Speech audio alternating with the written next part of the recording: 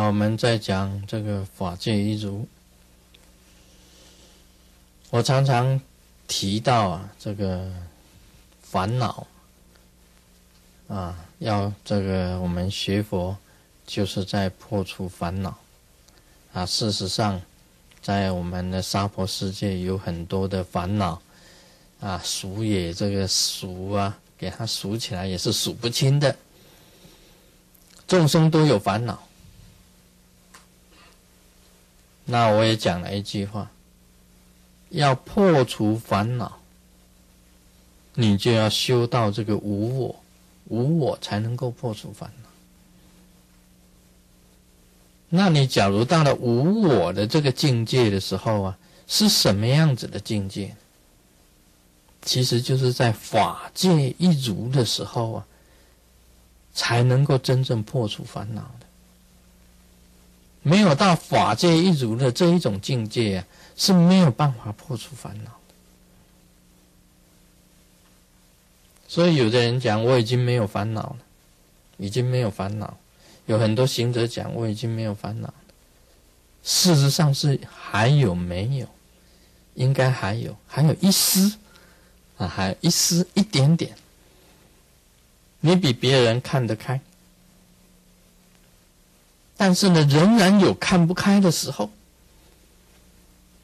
所以还有一丝，还有挂一点点，还像那个水啊，烦恼像流水一样这样子在流。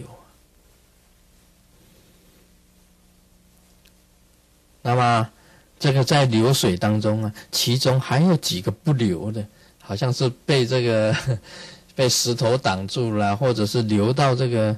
比较那个水流比较不急的地方啊，它会停，水稍微停在那里一下子，还是有停留的。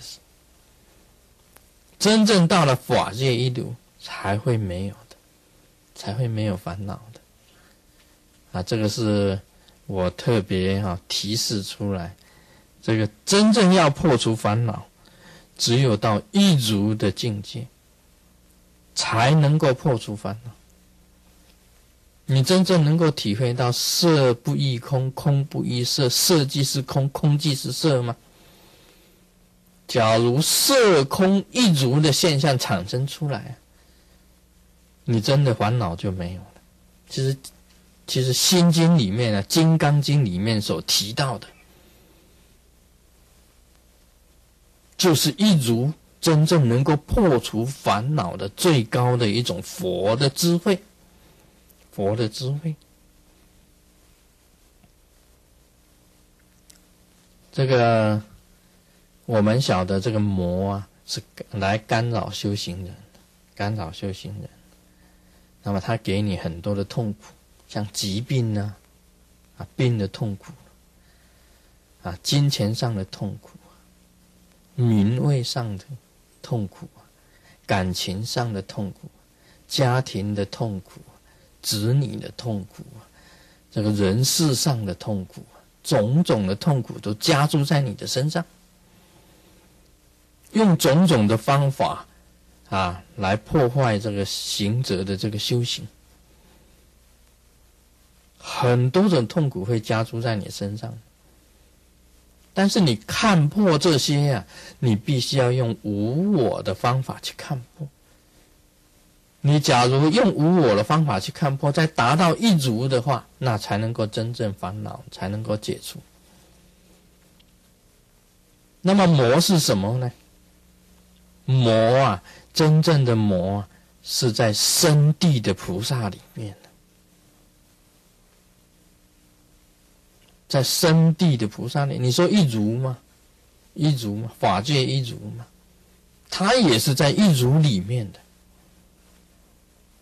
你要能够达到空境的时候啊，了解到空性的时候啊，你才能够去认识魔的。这个境界一达到啊，你才能够全部解开的。否则你还有啊一种相对敌的那一种心呢，相敌对的那一种心还在，你表示你的烦恼还没有解除。表示你本身的烦恼还没有解除，有了敌我的观念呢，那烦恼不会解除；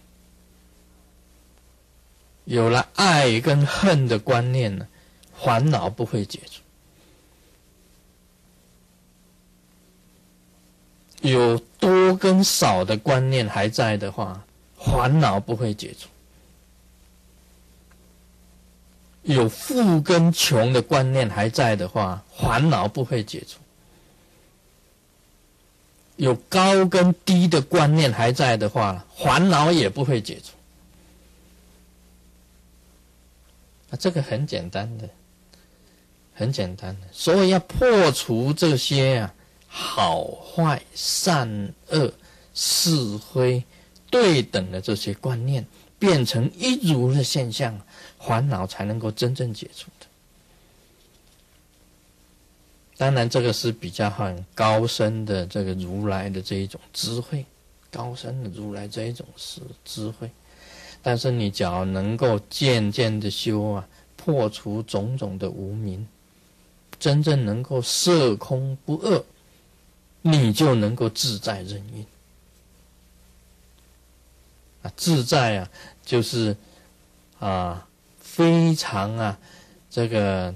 存在一种很平衡的心里面的，就能够深深明白空性的。你始终啊，生存在空性里面的话，你就能够自在任运的，你就能够得到如来的智慧的。这个境界呢，就是称为啊法界。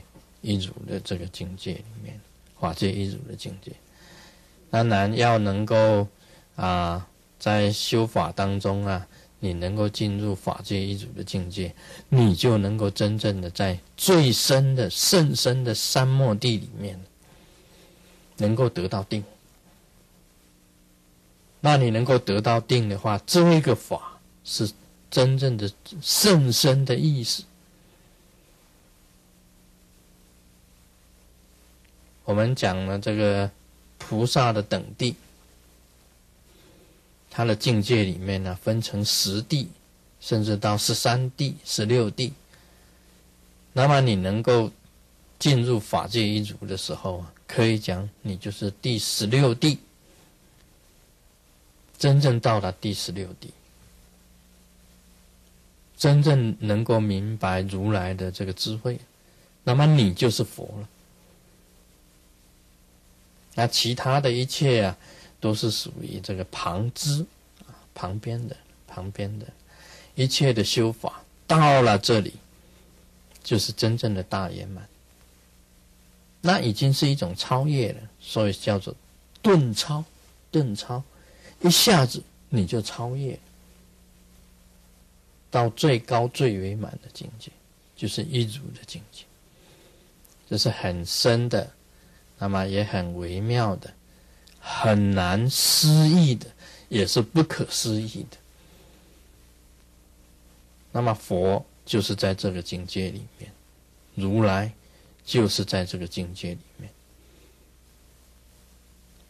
一切的菩萨啊等地还不到这里的，要成佛就一定要到一如的境界里面了。所以它也是一个佛的一个别称，这个别称呢就叫做真如。